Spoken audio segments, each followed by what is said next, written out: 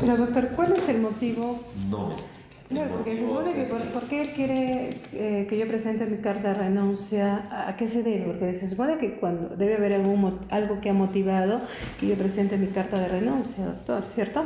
Ahora mismo, a ver, mira, yo de lo que puedo pensar, no, yo te lo quiero decir, no me lo ha dicho, pero pensar. De repente está la, la ideas en la cabeza, que has hecho algo. Sabe Dios, por ahí se me está yendo parece la idea, ¿me entiendes? Entonces pensar ahí dirá, lo ha hecho, no lo ha hecho. pero es muy fácil, doctor. El audio que grabó la exgerente de la Sociedad de Beneficencia de Arequipa, Katia Narda Delgado Chalco, pondría en evidencia la injerencia que tiene el alcalde provincial Víctor Hugo Rivera sobre la entidad. El presidente del directorio, Eduardo García Calderón Harley, solo sería el mensajero que hace cumplir sus órdenes tú estás pidiendo como un derecho de que quieres toda la persona abierta. Entonces, si yo no renuncio, usted lo va a poner en moción y usted va a dar el voto en contra. Sí, te soy sincero, no ¿Y por qué, doctor? ¿Por qué? Porque sabes que tengo que estar con el alcalde en ese sentido. O sea, no es que yo le, le diga que mentiras todo. Yo sé y en cualquier momento me va a tocar.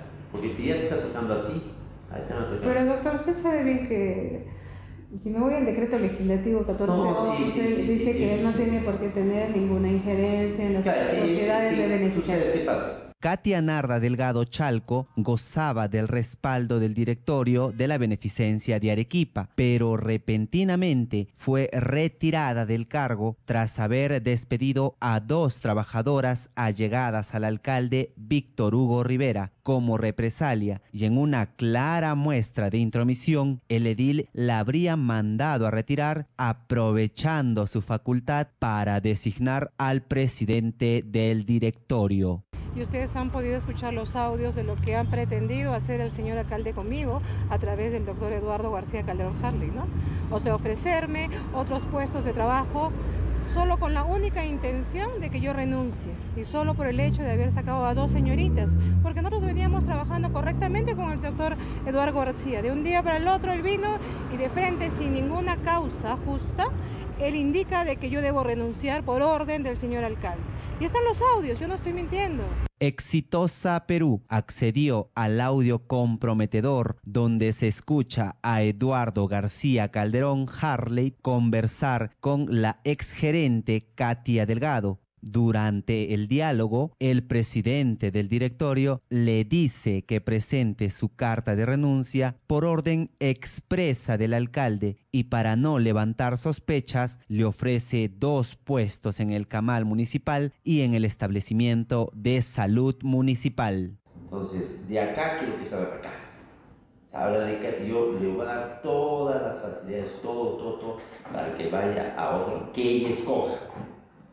Una vez que ella escoja, me dice, ya, yo quiero acá, conversamos, hablamos, transamos, vemos cómo todo y listo. O sea, ¿qué me ofrece, pues, señor alcalde, entonces? A ver, El de medio, puede ir al, al ¿Y de qué voy a ir al El canal administración, es lo que le he entendido, administración, administrar, administrar. En el estamos también. Como usted lo escuchó, el alcalde Víctor Hugo Rivera a través del presidente de la beneficencia, ofrece puestos de trabajo a pesar que el alcalde de la municipalidad provincial de Arequipa lo niegue e incluso amenace con denunciar a quienes usen su nombre. Sin embargo, Exitosa Perú tuvo acceso a otros documentos y mensajes de WhatsApp del alcalde Rivera que ponen al descubierto su injerencia en la Sociedad de Beneficencia de Arequipa, a pesar que esta entidad debería de tener autonomía, ya que pertenece al Ministerio de la Mujer y Poblaciones Vulnerables. ¿Usted niega, alcalde, entonces haber tenido una intromisión eh, en la salida del exgerente Katia Delgado de la beneficencia? Niego totalmente. Por eso estoy solicitando las actas donde indican cuál es el motivo y si es solamente a raíz de esa tal reunión del miércoles 16, si no me equivoco, o de reuniones pasadas. Ya tengo ya mis abogados. Todo lo que esté dañando mi imagen, vamos a actuar como... Eduardo García no es su amigo. Eduardo García no es su amigo, alcalde como muchas personas pueden ser amigos. ¿Quiénes son estas señoritas que poseen la protección del alcalde Víctor Hugo Rivera? Se trata de Agrit Cáceres Casaperalta, quien ostenta el cargo de gerente de Administración y Finanzas, y Claudia López en el cargo de jefa de talento humano. La primera fue cesada por ocultar información en su declaración jurada, donde se revela que su cuñado Alexander André Cifuentes Choque laboraba dentro de la beneficencia, entre otras irregularidades que cometió dentro de la entidad mientras que Claudia López fue retirada por ausentarse y delegar sus funciones al abogado Franklin Adolfo Leiva Roca. La señorita Claudia López Pantigoso era jefe de talento humano, quien ha pretendido hacer una desnaturalización de contrato, por eso ha sido retirada. ¿Por qué? Porque la señorita se le contrató como jefe de talento humano y luego ella se hizo liquidar, ella misma, ojo, y se hizo contratar con la señorita Agrit Cáceres Casa Peralta como gerente de administración, como abogada y le encarga las funciones de jefe de talento humano, habiendo un, una usurpación de funciones. ¿Qué quería la señorita López? quedarse de por vida en la sociedad de beneficencia, porque al haber una desnaturalización de contrato, ella ya nadie la podía retirar. Ambas ingresaron a la beneficencia durante la nueva gestión de Víctor Hugo Rivera, luego de apoyar su campaña electoral realizando pintas proselitistas del movimiento regional Juntos por el Desarrollo de Arequipa, como muestran estas fotografías exclusivas. Luego de ser acomodadas en sus puestos, Claudia López y Agrit Cáceres se convertirían en trabajadoras inamovibles que alardeaban del respaldo del alcalde, hasta el punto de salir varias veces y sin permiso de la beneficencia por una puerta extraoficial para ir a visitar al alcalde al Palacio Municipal. ¿Cuántas veces han salido estas señoritas Agrit y Claudia de la beneficencia para ir a, la municipalidad de Arequipa? Bastantes veces yo he identificado dos veces donde yo todavía le, le indico al señor eh, alcalde por WhatsApp y le digo, señor alcalde, la señorita está... Sí, me dice, algo ha pasado. Yo tengo las pruebas correspondientes. Luego, él me pide permiso por WhatsApp y me indica, este, dele permiso a la señorita Agrit para que venga a la municipalidad. Entonces yo no sé qué funciones van a cumplir allá, porque ellas no son trabajadoras o no eran trabajadoras de la municipalidad, eran trabajadoras de la sociedad de beneficencia.